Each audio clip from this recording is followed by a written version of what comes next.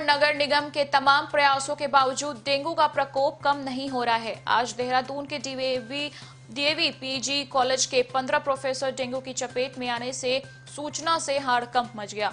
वहीं बुधवार को पचासी और मरीजों में डेंगू की पुष्टि हुई है। इन मरीजों को अलग अलग अस्पतालों में इलाज चल रहा है। एक दिन में इतने अधिक मरीजों के सामने आने के बाद स्वास्थ्य विभाग में हड़कंप की स्थिति है।